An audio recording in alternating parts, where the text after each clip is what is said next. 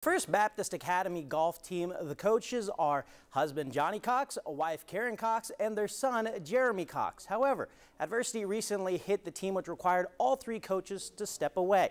But with their coaches out, the boys golf team is stepping up to make those coaches proud. The golf team at First Baptist Academy has had a nearly perfect regular season.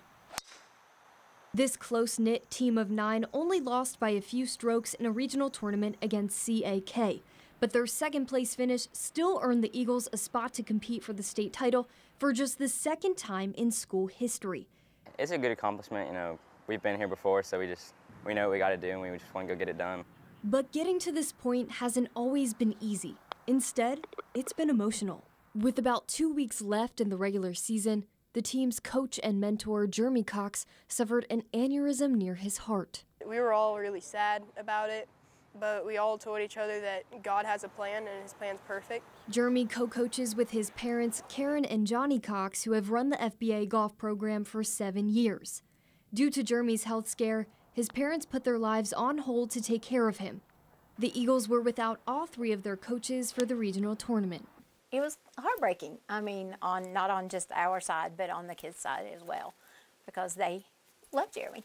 Despite not having that in-person coaching connection, FaceTime has been a great resource leading up to the state championship. The team has been practicing on its own every day during fall break, but the players say it's still been an adjustment. We're just trying to do our best to think of what they would tell us and keep our attitude in control. On September 28th, Jeremy underwent surgery and doctors say he is set to make a full recovery. Now the team can walk onto the tee at the first hole for states with clear minds, knowing that their leader will be all right. Like I went downstairs and started yelling and jumping in happiness. As for the state championship, well, the team has new motivation. What better gift than to win the state tournament as a team for your coach who's going through a hard time?